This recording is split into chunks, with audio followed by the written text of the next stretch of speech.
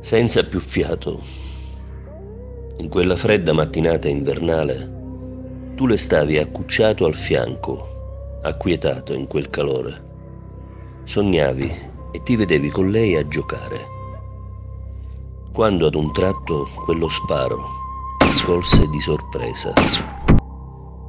E di corsa voi due a cercare una via di fuga, intuendo però che non vi avrebbero dato tregua. Tu correvi, ma non capivi da chi sfuggivi e il perché lor ti spianavano quei fucili. Troppo piccolo eri forse per saperlo. Ma lei, tua madre, com'era lesta nel fiutar l'inganno, e tu che la seguivi con affanno. Corri, figlio mio, entra in quel fosso e saremo più al sicuro da chi ci spara addosso.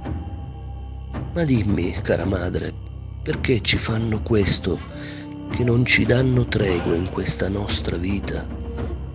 Come vorrei saperlo, mio piccolo fardello, ma penso che non sparino solo per bisogno e sia purtroppo questo solo un vil pretesto per sfogar così le umane frustrazioni senza che la coscienza gli si rivolti contro.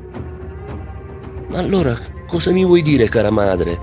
Che i più ci voglion morti soltanto per sentirsi così loro un po' più forti? Temo proprio di sì, mio tenero piccino, ma non pensarci e non dolertene poi tanto, che da quando io son nata al mondo mai nessuno m'ha da qui stanata.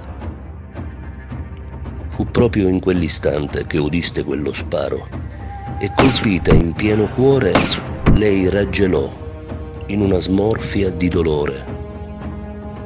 E allora mamma Volpe si colorò tutta di rosso e con le lacrime agli occhi s'accomiatò dal piccolo che piangendo le si buttò addosso.